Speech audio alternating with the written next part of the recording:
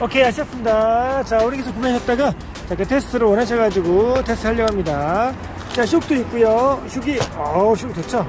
자 점프 살짝 한번 해볼 건데요. 우리 계속 직진에 대한 내용인데 뒤쪽 앞, 앞바퀴는 벌리고 뒷바퀴는 모아져 가지고 자 직진성을 조금 잘 나오겠어요. 그쵸? 살짝 보시면은 이쪽 이쪽 움직여서 자, 자 시켜볼게요. 자 코너 살짝 틀고 쉬어서 여기서 마음대로 하지 말고 점프 오! 코너 틀고. 브레이크! 오 브레이크. 점프 오 좋아요. shock이 되게 되게 좀 강하거든요. 이게 딴 데, 딴, 딴 차보다 shock이 강해요. 시작이 좀 shock이 강합니다. 아직은 조금 오!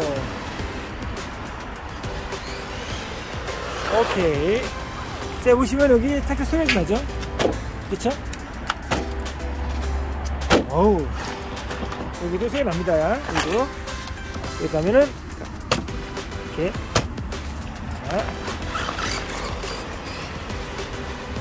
자. 번호. 여기서 부드럽게 점프. 오케이 자 점프 할수 있는 차예요. 조종이는 M2R이고요. 자 조종이 여기 되게 예민하게 여기 보시면 예민하게 살짝 살짝 돌리냐에 따라 어떻게 돌리냐에 따라서 지지 나오고 안 나오고 그래요. 그리고 어, 코에 넣으면 딱 당겨지지 얘가 싹 이게 싹 세팅이 없거든요.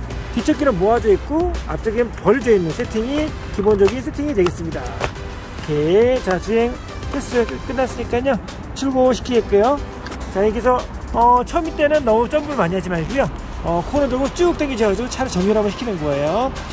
코너 다음에 저어지면 차가 한쪽으로 기울 수밖에 없어요. 왜냐면 노면에 따라서 어, 환경적인 지배를 받아요. 그래서 어, 이 차가 어, 미니차에서 약간 더 큰 차지만 사실은 코너에서 이런 종류할 때는 미세조용으로 살짝 조절해야 됩니다. 제가 세팅 조절해서 나가니까요.